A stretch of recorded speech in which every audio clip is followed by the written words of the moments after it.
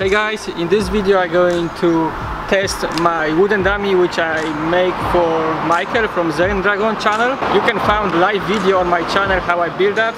So in this video I'm going to show you small form and applications for this form. My technique can be a little bit rusty because I didn't train Wing Chun from 2014 so it's like a five years so I could miss something. So forgive me for my mistakes. So now I'm going to show you step by step what you do in the form and with Michael I'm going to show you application how you can use this move in the real situation. In the first part in the, in the form you're going up, you pass the arms and in the form you're using your hands like this is key to your throat or eyes. So one, two, three. But normally I'm using like two fists because it's more safe for your fingers. in application for this is like when you got my t-shirt. So the same how we pose in and dummy. I go up pass the arms and hit the throat nose or generally head.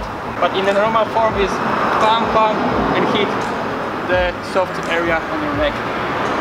Okay next part you go to the side. I show from this. I go to the side and hit in the head.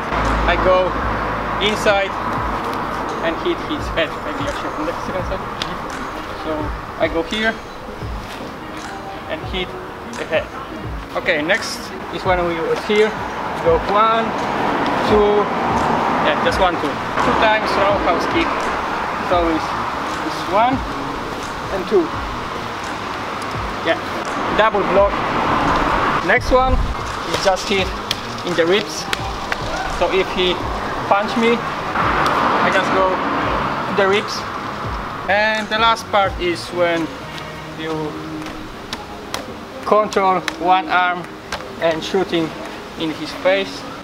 So example you make double punch there's one and two. So it's like I try to control one hand and just sw switch the hands to attacking him and control his body. So this is it.